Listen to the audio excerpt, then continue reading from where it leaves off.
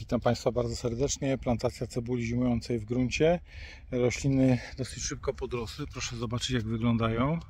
E, rośliny mają już dwa liście właściwe. Jest ciepło. E, są delikatnie owoskowane. Na plantacji, proszę Państwa, zdarzają się chwasty takie jak starzec. Ten starzec jest w różnym zaawansowaniu.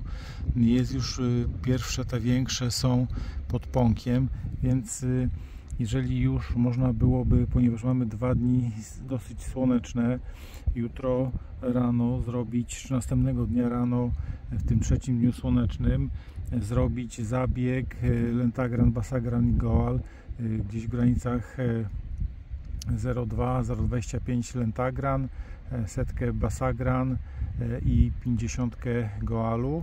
E, przypominam tylko, że powinien być dość dobry wosk. Można sobie to sprawdzić na liściu, przeciągając palcem po liściu i zobacz, patrząc, czy coś się tam ściera z tego liścia, czy nie.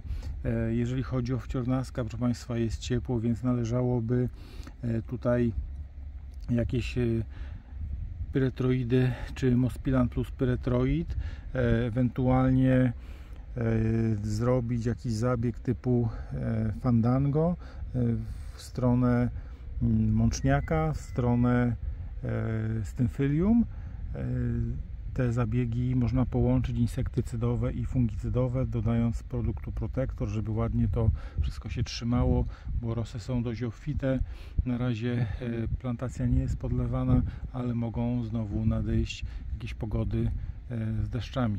Jeżeli chodzi o zabieg herbicydowy, to tylko przypominam, że niewielką ilość wody w granicach 200-250 litrów na hektar grubą kroplą, żeby jak najmniej e, substancji aktywnej i cieczy użytkowej padło e, na rośliny cebuli. Zapraszam do oglądania następnych filmów z tej plantacji, jak i z innych plantacji warzyw gruntowych.